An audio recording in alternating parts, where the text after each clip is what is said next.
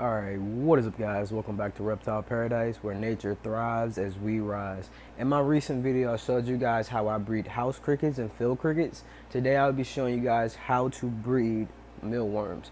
Mealworms by far are the easiest insects feeders to breed on your own. And you simply just go to, you can go to Dollar Tree and get a couple of bins and I'll show you the bins that I have. I also have a divider for when they turn into pupa and then I'll be going through the mealworm container that I have right now and grabbing out some pupa that I found earlier and then place them in, placing them in the organizer that I have. So you guys will see the whole process of how I do things.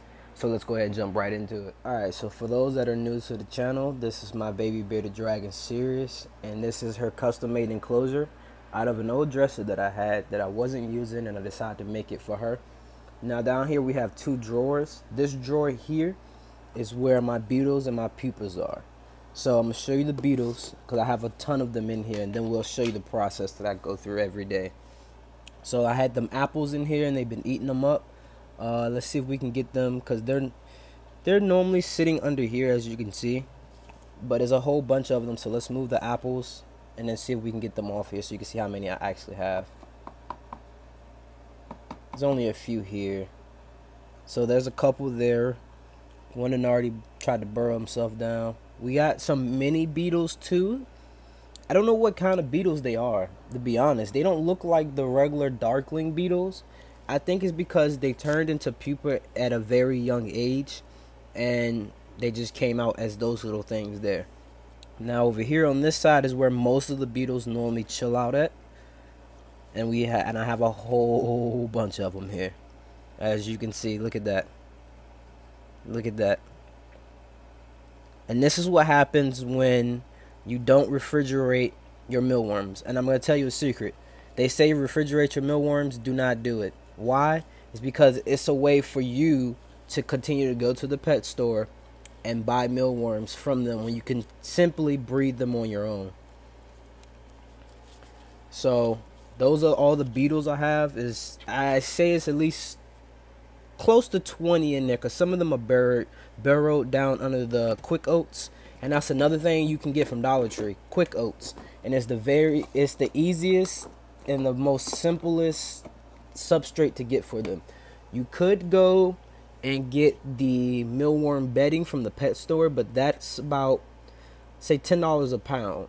Maybe five to six dollars a pound where you can just go to Dollar Tree and get this right here for a dollar quick oats and I still have some left. And I have two containers filled with quick oats. So just think about how much money you truly need to spend on breeding mealworms. Now this is the organizer I got because if they hatch, if you leave them in a container completely to themselves like this, say I put all my pupa in here, they hatch at different times. So if they were to hatch and you don't feed them, they will definitely eat the pupa that are left behind. And you don't want that to happen because that will limit your colony. So these are the pupa. Pupa i don't know if i said i yeah i said it right pupa. But the substrate i have in here is all the substrate from like calci worms and mealworms that you get from the pet store itself. So that's an easy way to do that too. And then when they hatch if you want the best way to do it is to leave them on their backs. So when they do hatch their their feet are facing up. That way if you do have multiple like I do here. I have two in here. I normally put three. I have two in here. That way when they hatch, they hatch on their backs. And in this substrate, they can't turn themselves over. And you want to check this at least twice a day and every day. You definitely want to check it every day because you never know when they're going to hatch. So let's go inside the mealworm container and I'll show you guys what we have in here and how I go through this every day. So these are all my mealworms. I still got a, a a decent amount in here. Uh, majority of them were getting eaten by Sirius. I try to go through and feed her the small ones, and we have currently two pupa at the top. These are the ones I found earlier, but I wanted to leave these in here for the video today. So what I normally do, let's see. What I normally do is I go through every day. Let's take the two out first. You want to gently pick them up you don't want to crush the pupa itself because they'll bleed out and they won't they won't turn into beetles so be very careful when you do it and I just sit them in the middle And here's an actually it's three in here. There's another one. See? You want to check these every day because you never know. And you want to be careful too. Make sure you feed your mealworms because if you don't feed them, they will eat the pupa. So since these are singled, basically I just leave one in there just just to be safe. And let's get this last one out of here. You could leave, you could take and put some oats in there if you want. That way, when they do hatch, if they don't hatch on their backs, they have food. But I normally just let them hatch on their backs, and I normally just separate them. You want some mealworms, don't you? you want some mealworms. All right, so let's go through this and let's see if we can find some more. So what I normally do is I'll take all the quick oats and just push it all the way to one side of the container. And then once I get it to one side of the container, I just lightly with the back of my hand push it down and and push it out to make sure that there's no other pupas in here before I put the container back. And like I said, you want to check this every day to make sure your colony is growing the way it should in that way that the uh, mealworms don't eat the pupa that have turned into pupa because if you don't feed them they'll eat them. And we have another one here. Just by pushing it up, we have another one. You see? You see what I mean? You want to check this every day. Because if I don't check this every day, I will never know.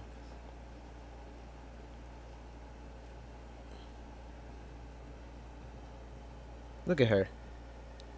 Look at her. She want her some mealworms. Alright, so let's open this back up. Now, I now that this all the single ones are full with pupa, what I'll normally do is I'll push one pupa to a corner, each corner, and then I'll put one in the middle. But who knows? We might have more than I think in here today. So let's just keep going through this. And when it comes to breeding these, you want to give whatever reptile or animal you're feeding your mealworms, you want to give them the smallest ones possible because the biggest ones have lived the longest and you never know when they could turn into pupas so you don't want to jeopardize your colony when it comes to that. And then when it comes to feeding your mealworms and your beetles once they hatch you can give them fruit you can give them veggies they'll eat uh they'll eat rotting fruit as well but you want to take it out before it molds and that's pretty much it when it comes to it it's, it's just that simple and these bins all this stuff I got from Dollar Tree. So in total, I have one, two, three, that other bin down there. Then I have those four back there, which came in a pack, so that's five. And then two two things of quick oats. So I spent seven dollars at Dollar Tree to maintain my mealworm colony, and that's all it takes. It's just that simple. And then you won't have to worry about buying them again. And then I'll also go through the process of when you start to get baby mealworms so there's no more pupa in here. I found two more that was that was good that I found two more. So now we're gonna have extra beetles and I'm gonna remind you one last time to check if you do this you want to check it every day I check it maybe two three times a day because you never know what happens in those span of hours. So just keep your eye on it. It's a task, and if you want to breed them, you have to take the responsibility for it.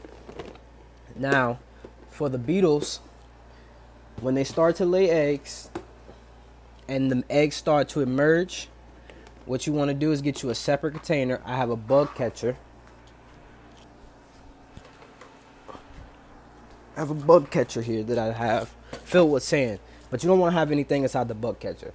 So I'll empty the sand out into another container. And then what I'll do is I'll just take these little crates and put them inside of the bug catcher. And then you want to dig through carefully, dig through and see if there's any more beetles left in there. And then just take a handful and just pick out the mealworms. It's just that simple and then you put them back in here. After a while, I say after maybe three to four cycles of them breeding and having uh, laying eggs and then your mealworms hatching, you're gonna want to change out the oats. Why? Because it's going to end up giving you a stench from the the smell of the eggs and everything else, the poop and whatnot. So you just want to clean it out. So you could I say stock up on a couple of uh, quick oats, and that's pretty much it. And again, when it comes to feeding, you can give them. It's the same for the mealworms. Basically, you can give them fruit, veggies, and then they also eat the cricket calcium, the the cricket Fluker's high calcium cricket diet. They eat this as well. So I have a little uh, a little spot of it in there. So if they don't want to eat the apples and they start to roam around, they catch a whiff of that, they'll eat that. But that's pretty much it, guys. Um, if you enjoyed, be sure to smash that like button. Subscribe if you have not. Also, ring that bell to be notified when I upload. The website, I'm still working on the website. The website will be done very soon. But that's it for today, guys. I hope you enjoy your day. I'll catch you guys later.